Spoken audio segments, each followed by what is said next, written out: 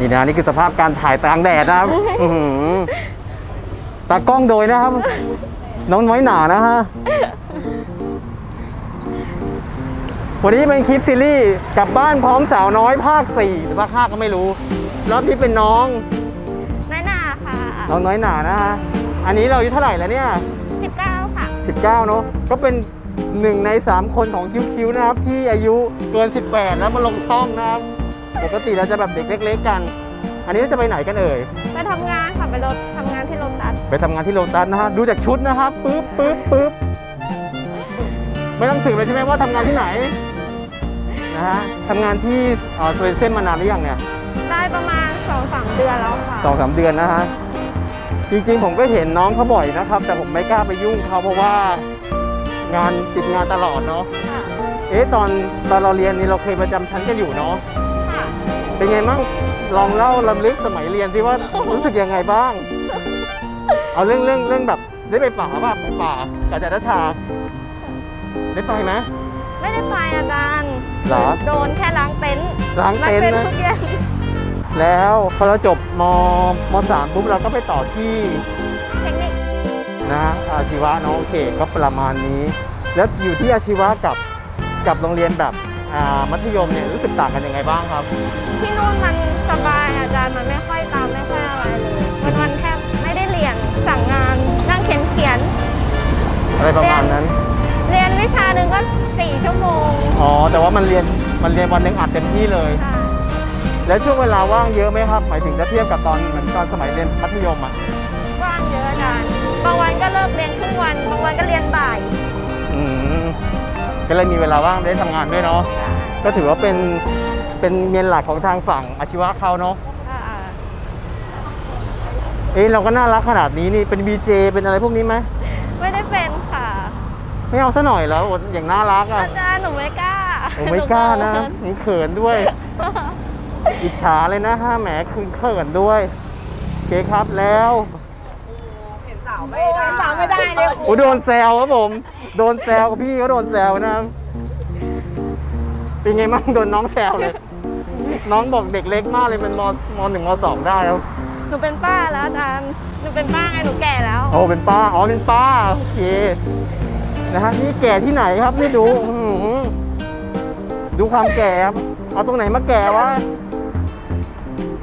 แล้วรู้สึกเราจะมีคอนเทนต์ที่เป็นคอนเทนต์แบบ เขาเรียกอะไรวะไอตัวตัวดังเราเลยจำจำรูปได้ใช่ไหมฮะอันนั้นรู้สึกไงบ้าง เดี๋ยวผมจะอินเสิร์ตรูปให้ดูแบบไม่แต่ง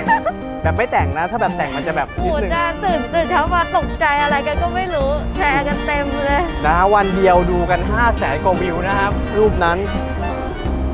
อธิบายได้ไหมว่าว่ารู้สึกยังไงบ้าง โดนโดนโดนบูลลี่ด้วยนี่ใช่อาจารย์เขาบูลลี่เรายังไงบ้างอะครับ บอกว่าแต่งเกินจริงโ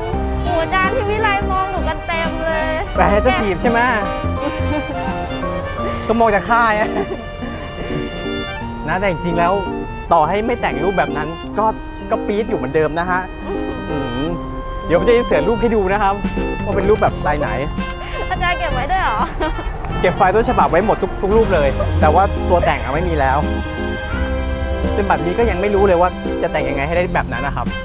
เพราะมันแบบ ไม่ไม่ไม่สดสดจริงอะรูปนั้นนะโอเคถามเรื่องส่วนตัวเพิ่มอีกดีกว่าอย่าง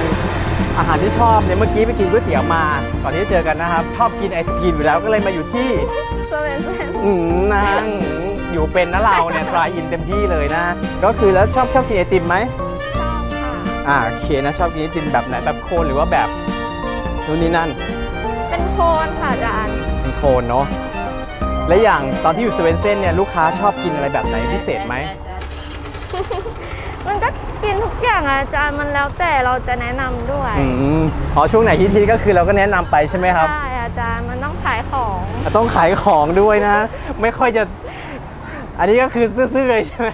ว้าวมันซื่อๆนะครับอืมขายของนะ เหมือนที่หนูไปยืนขายข้างหน้าอาจารย์หอ่านูต้องทำยอดให้เขาทำยอด โอเคลำบากหน่อยนะ เราจะขึ้นสะพานลอยหรือว่าเดินถนนนาจะขึ้นสะพานลอยหรือข้ามเดินข้ามขึ้นสะพานลอยสะพานลอยเนาะไป่ะปึ๊บตามเลยค่ะปึ๊บโอเคอืมอากาศดีมาก สวัสดีครับ เป็นไงบรรยากาศเดิมๆผ่านโรงเรียนมา สวัสดีคิดครับถึงนะอาจารย์คิดถึงเพื่อน คิดถึงเพื่อนแต่เพื่อนไม่อยู่สักคนละไม่อยู่แล้วอาจารย์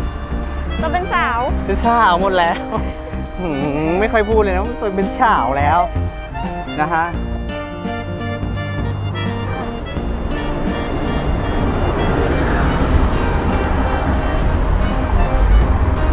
เพิ่มเพิ่ม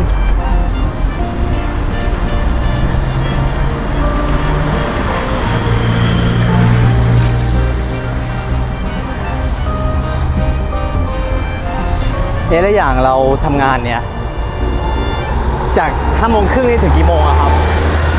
เกือบสี่ทุ่มอะอาจารย์เพราะว่าหนูต้องอยู่ปิดร้าน อยู่จะปิดร้านเลยเนาะใช่เอาแล้วตอนตอนเรียนตอนเช้าอะเรียนกี่โมงอะครับก็เรียนเวลาปกติอาจารย์8โมงก็ต้องตื่นตีห้าครึ่งโคตรแหกขี้ตา แล้วบ้านเธออยู่โซนไหนนะแล้วหลุมแก้วนู่นเลยนะอาจารย์อืมนั่นหลุมแก้วโอเคแล้วขากลับกลับไงว่าสี่ทุ่มครึ่งมันไม่มีรถนี่หว่าพ่ อพ่อมารับอ๋อคุณพ่อมารับนะฮะ แปลว่าอย่างนี้คุณพ่อดุแน่นอนนะฮะลูกค้าหัวลูกสาวโอ้ลูกสาวลูกสาวสวยมากครับเนี่ยอืมลูกสาวสวยมากขนาดนี้คุณพ่อก็ต้องห่วงเป็นธรรมดานะฮะไอ้ยะโอเคใกล้ถึงแล้วมีอะไรจะบอกกับเพื่อนๆที่เรียนจะเรียนอาชีวะบ้างครับ ว่าแบบมีดีมีเสียยังไงอะไรประมาณนี้ แนะนำหน่อยเร็วเอาเรื่องเอาข้อดีอย่างเดียวเลยก็ได้ก็มันเรียนอาชีพมันก็ดีนะอาจารย์เพราะว่ามันได้ฝึกงานไปด้วยแล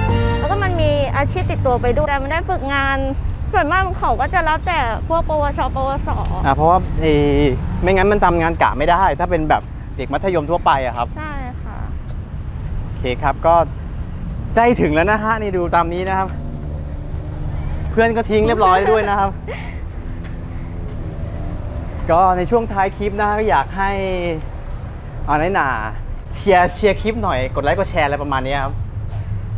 เชิญกดไลค์กดแชร์ให้ด้วยนะคะ ชื่อช่องคิวคิวนะคะเคครับผม บ๊ายบายครับน้องน้อยหนา สวัสดี บ๊ายบาย